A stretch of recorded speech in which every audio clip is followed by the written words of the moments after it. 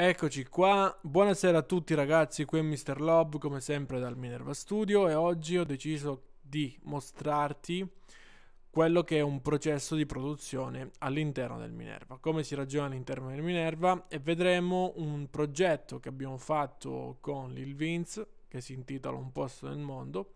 E partiremo proprio dalla reference per poi arrivare man mano al prodotto finito. E quindi andremo a fare un po' di discorsi pratici su quello che è tutta la fase di produzione. Ma prima di iniziare ti invito ad iscriverti al canale e di azionare la campanellina in maniera tale da restare aggiornato su tutte le nostre novità. Um, parliamo subito del progetto. Come è nato questo progetto? Questo progetto ha una storia molto lunga perché circa due anni fa, se non, se non erro, Lil mi ha mandato un pezzo da mixare, io gliel'ho mixato, uh, però questo pezzo non è più uscito. Non so per quale motivo non l'abbia fatto uscire. E due mesetti fa ho ritrovato per caso, ma niente avviene mai a caso, il progetto vecchio nei miei file salvati. Ho detto, wow, ma, cioè, ma perché sto pezzo è qua e non è uscito? Che è troppo bello, è una bomba e dobbiamo farlo uscire assolutamente. Allora ho chiamato Lil e gli ho detto guarda che c'è questo pezzo perché poi alla fine non è uscito, facciamolo uscire perché secondo me questo pezzo qua spacca. E uh, questo brano aveva come base un type beat preso da YouTube. E, uh, all'epoca io ancora non, non producevo, non avevo il team di produttori, facevo solamente mix e master, quindi mh, mm, ho semplicemente mixato e masterizzato quel beat. Però questa volta ho detto, senti, guarda, secondo me quest- questo pezzo ha, un- ha delle grosse potenzialità, però se per te va bene, io ti rifaccio la base perché non mi piace che esce un pezzo così forte con un type beat. Quindi io ti rifaccio la base e poi mh, mm, riadattiamo le voci su questo sulla nuova base che io ti faccio in maniera tale che non perdiamo neanche tempo a riregistrare e tutto il resto. Uh, lì ho detto ok va bene fammi un provino e vediamo se poi mi piace o meno perché Lil è un, è un tipo che si affeziona tanto alle basi. Questa è, un, è, è una, una, cosa molto comune che capita quando si lavora in studio con delle reference perché mm, il cliente ti manda dei provini e se uno che si affeziona tanto alle basi è eh, molto delicato gestire anche questa parte.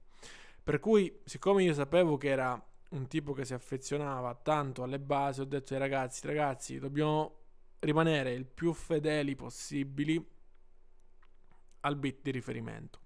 Perché poi ci sono anche altri artisti che ti mandano i beat e dicono, wow, fai tu, questo è solamente una reference, per il resto fai tu. Mentre altri vogliono che sia il più possibile vicino a quel tipo di suono che ti hanno mandato loro e sul, sul quale loro si sono ispirati per scrivere. Fatto sta che abbiamo cominciato a lavorare e ora ti faccio ascoltare la, la reference prima, qual era la, la prima reference che è arrivata in studio e poi man mano andiamo a vedere come l'abbiamo costruita noi. Say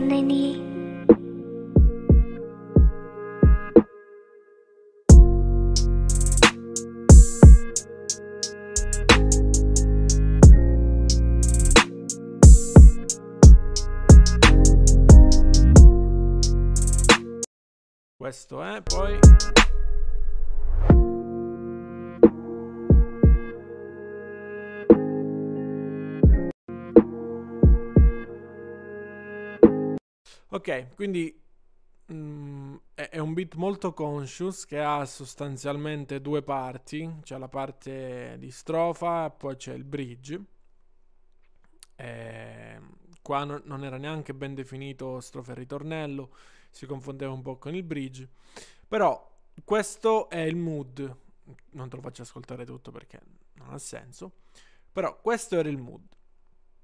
Quindi ho detto ai ragazzi, ragazzi, dobbiamo cercare di restare il più fedelmente possibili vicino a questo tipo di beat qua, uh, in quanto sapevo che Lil era uno che si affezionava alle basi. Per cui dobbiamo restare all'interno di questo mood, non dobbiamo distaccarci tanto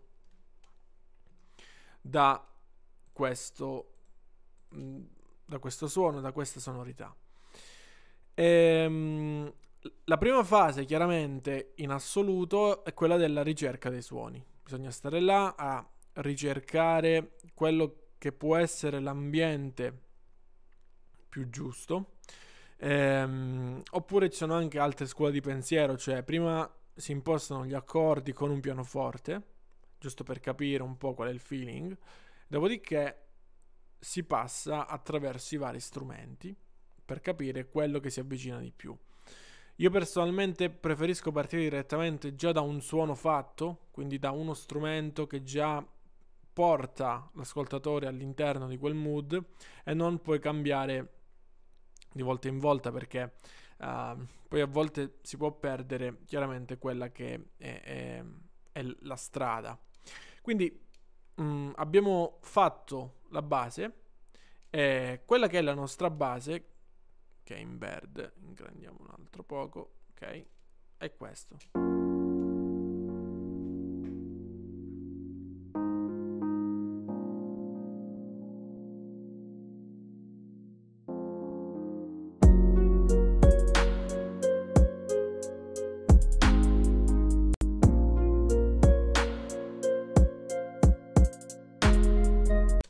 Riascoltiamo la, la vecchia.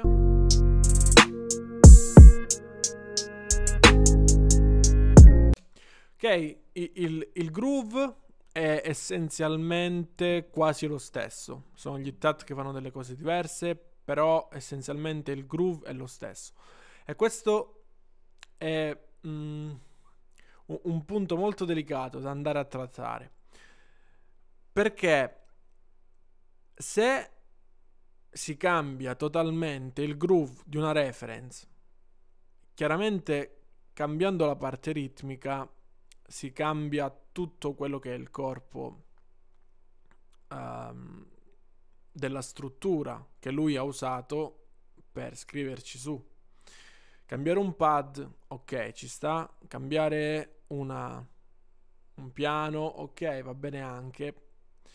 Però se, lo, se l'obiettivo è quello di mantenere una, una produzione molto vicino alla reference di partenza, allora io personalmente parlando direi di restare sullo stesso groove. Poi può cambiare il tono del kick, può cambiare il tono del clap, magari invece di metterci un clap si mette uno snare, va bene, perché eh, ehm, poi là sta anche al produttore andare dietro un, un, de- un determinato tipo di mood di feeling, però quantomeno la ritmica io tenderei a lasciarla così come era nella reference. Se invece il presupposto è quello di guarda, qui c'è la reference e puoi anche totalmente stravolgere il beat, a me non interessa, mi fido di te, fai quello che tu ritieni più opportuno, allora in quel caso, ma sono due, sono due compiti diversi. Quindi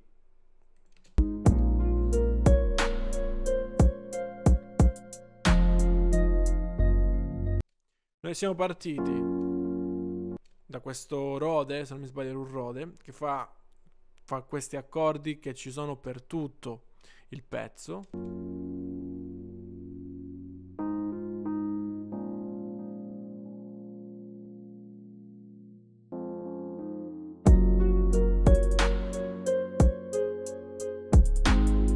Poi nel ritornello c'è quest'arpa con un pad.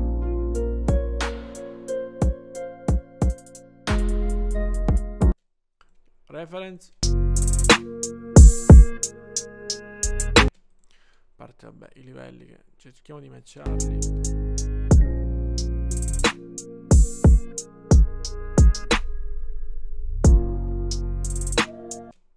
Ok, come mood ci siamo. Poi c'è il bridge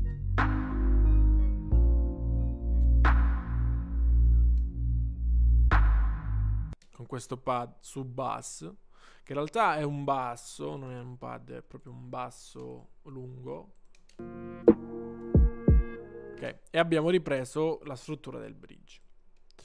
Quindi questa è stata un pochino la, la sfida in questa produzione. Il compito era riuscire a ricreare il mood e, ehm, e poi dopo aver ricreato il mood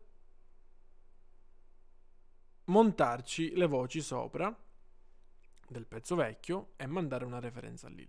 Chiaramente, come succede spesso e quasi sempre, quando si fa un pezzo nuovo, magari il pezzo era, era un po' vecchio, il, il, il, pezzo nuovo, ci si montano le voci sopra, chiaramente poi il beat, siccome prende così tanto bene rispetto a, a quello vecchio, al 99,9% le cose si riscrivono.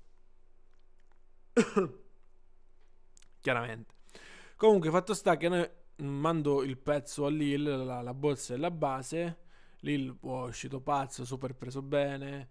Eh, però ha fatto lobby. Guarda, io mi sa che qui riscrivo il pezzo perché eh, la base è troppo bella per lasciare quelle parole. Poi, tra l'altro, come capita anche spesso, io sono cambiato, non sono più quell'artista per cui voglio provare a riscrivere qualcosa. Vabbè, fatto sta che riprova a scrivere qualcosa e finché poi manda in studio le separate del pezzo e, e a quel punto comincia la fase di mixing. Fase di mixing è, è anche questo punto, ti porto passo passo all'interno del processo anche qua, quando si mixa, quello che dico sempre io anche ai miei studenti, ragazzi, quando mixate voi dovete tenere sempre in considerazione la visione del pezzo. Qual è il mood? Dove si vuole arrivare a parare? Che tipo di suono si vuole ottenere? Cioè, il mix è il processo creativo finale della produzione. Poi dopo c'è il mastering, ok, anche. Però ehm, è tutto un proseguo, c'è la produzione e poi c'è il mixing. Il mixing non può essere solamente una cosa tecnica dove, vabbè, metti quattro riverberi, quattro equalizzatori e basta. No, il mixing deve essere un processo che va ad accompagnare, va a portare a compimento tutto quello che è il, processo, il progetto iniziale. Altrimenti, se il mix si pensa come due cose staccate, come una cosa staccata, da, dall'obiettivo, ehm, la cosa non funziona. E chiaramente, siccome abbiamo prodotto noi e ho mixato anche io il pezzo, è chiaro che io avevo già la, la visione finale del brano, ok? Brano conscious, quindi anche dal punto di vista della spazializzazione, della riverberazione della voce, bisognava dare un, una certa impronta, un certo colore a, a quello che doveva essere il mix finale. Quindi con queste idee di partenza ho mixato e, e questo è il risultato finale.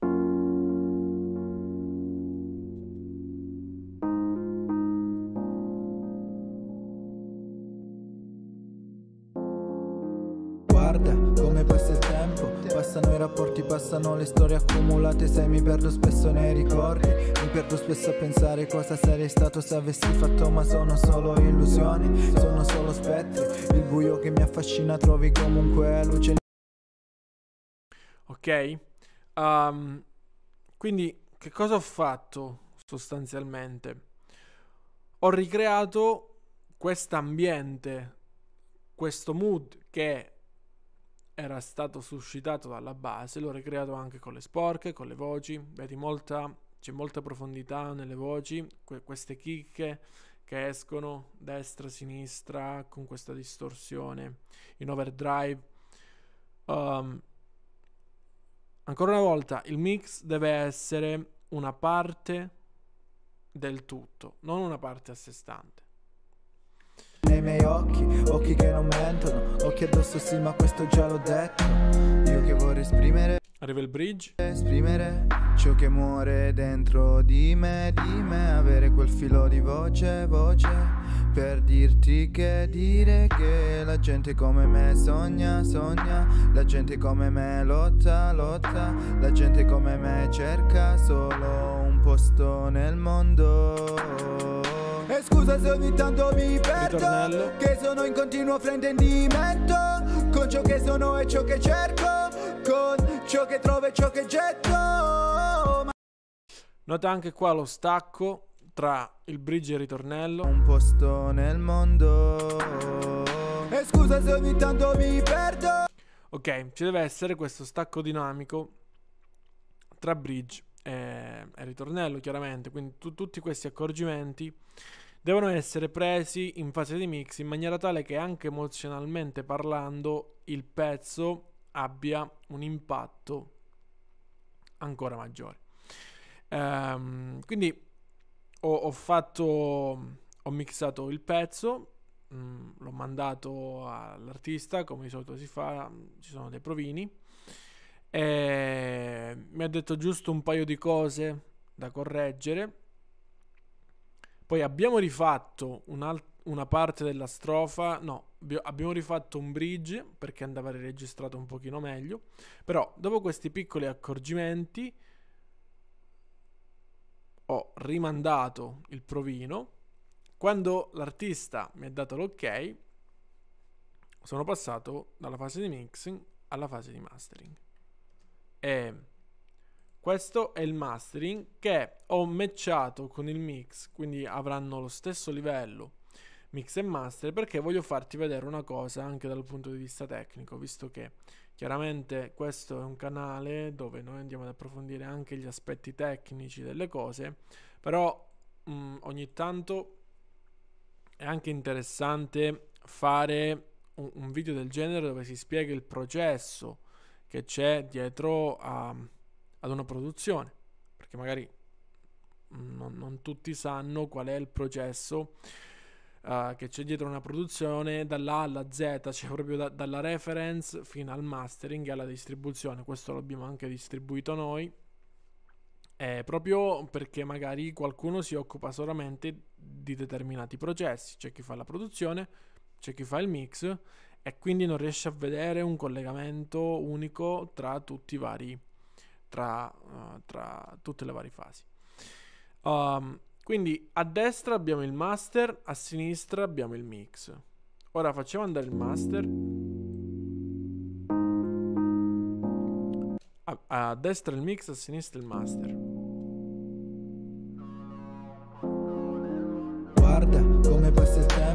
Passano i rapporti, passano le storie accumulate. Sai mi perdo spesso nei ricordi Mi perdo spesso a pensare cosa sarei stato se avessi Guarda, cosa interessante tra il mix e il master, sostanzialmente la curva è quasi la stessa. A differenza, ma sono solo illusioni. Sono vedi, qua c'è un po' di mid range in più. solo spettri. Il buio che mi affascina trovi comunque rispetto al mix, quindi c'è un'equalizzazione particolare nella parte di mid range luce nei miei occhi Occhi che non mi e anche qua sulle alte c'è un'estensione della coda sulle alte. Mm, altrimenti i- in, al 99% dei casi eh, mix e master, vedi, sono semplicemente questi piccoli accorgimenti, ok? Manca un po' di mid range, diamo un po' di mid range, diamo un po' di apertura sulle alte. Però non vado a reinventare totalmente il mix, perché se avessi dovuto reinventare totalmente il mix, vuol dire che avevo sbagliato mix. Chiaramente il mastering no- non, non reinventa niente, va semplicemente a, a illuminare determinate parti, a, a correggere determinati errori. Però più di questo non fa, va ad ampliare l'immagine stereo. sentono Occhi addosso sì ma questo Immagine stereo che tra mix e master è notevolmente cambiata. Ora ascolterò il mix, già l'ho detto Io che vorrei esprimere, esprimere master. Ciò che muore dentro di me, di me Avere leggermente più aperto e più focalizzato le, il, il low end più focalizzato al centro e il resto un po' più aperto. Però questi qua sono i piccoli interventi che si fanno tra mix e master proprio uh, perché non ce ne deve essere bisogno. Se ce n'è bisogno, c'è qualcosa che non va. Ok? Bene, ora ti faccio ascoltare il master a livello suo e possiamo fare anche un'altra un'altra, un'altra valutazione tecnica. Guarda, questo è il master. Come vedi, il master non è il mattoncino unico, tutto quanto tirato su, ma è un master abbastanza dinamico, chiaramente, perché il pezzo ha dei momenti che devono essere rispettati, così come ehm, se io avessi mandato, avessi fatto un master totalmente piatto, non sarebbe arrivata da nessuna parte. Ma nonostante questo, nonostante questo, ti faccio vedere. Spesso a pensare cosa sarei stato se avessi fatto ma sono solo illusioni Sono solo spettri, il buio che mi affascina trovi comunque luce nei miei occhi Occhi che non mentono, occhi addosso sì ma questo già l'ho detto Siamo intorno al meno 9 di Louvs nello, nello, short term, meno 10 sul lungo termine, ma arriviamo anche a. Io che vorrei esprimere, esprimere. Quindi questo per farti capire che è un, è un mastering molto loud, che però allo stesso tempo è anche tanto dinamico, per cui eh, non è vero che non si possono fare le cose loud e dinamiche, perché la, la dinamica è una percezione, non c'entra niente con eh, effettivamente i, i loops che tu vedi sul, sul meter. Però questo è un altro discorso che ovviamente se sei interessato ad approfondire i temi di mix e master trovi in descrizione i link per accedere ai miei servizi di uh, coaching, potremmo dire, ai, ai miei percorsi privati. Ok? Bene, quindi detto questo, poi chiaramente abbiamo esportato e distribuito. Da dove siamo partiti? Siamo partiti da qua.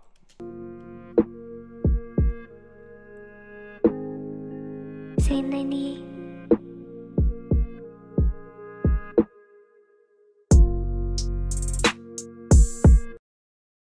Arrivati. Qua.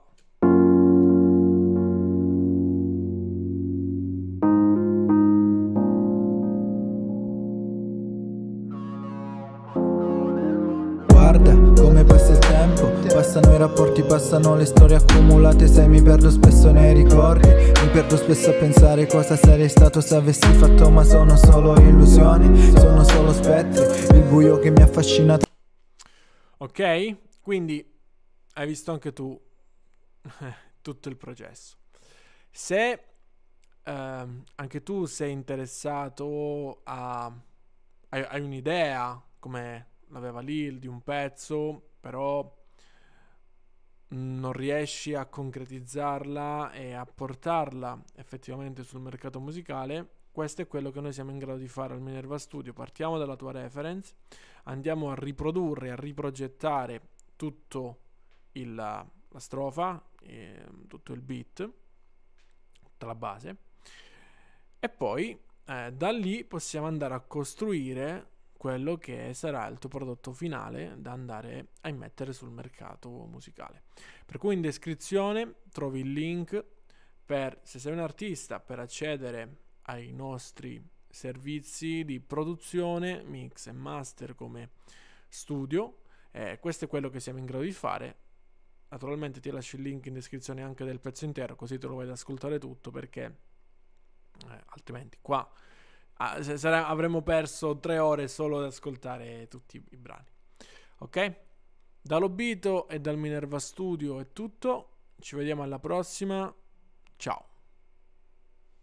Chiuso nel Minerva Studio, studio.